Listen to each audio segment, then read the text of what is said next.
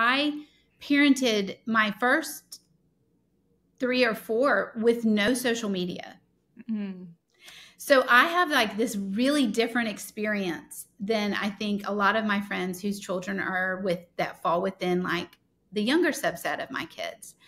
Um, in that I lived a whole a whole time of learning how to be a mom without constantly seeing in front of my face every single day these perfect pictures of how to do all these things or all the rules or all the shoulds like you should like that it wasn't there to that extent and so yeah. i wasn't um there's just this added pressure for a young or you know a younger mom the moms now mm-hmm. to um, measure up and i'm just telling you god isn't layering this measure up stick on you. And instead he is going no just walk with me.